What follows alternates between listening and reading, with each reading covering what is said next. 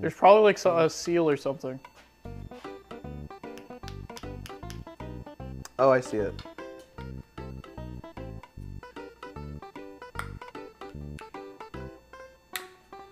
Apparently, you don't need oil. We're just gonna put a little bit. A dash of it. There Do you get uh, virgin oil?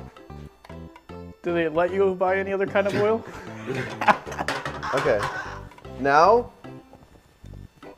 now this is looking delicious. You drop the steak in there.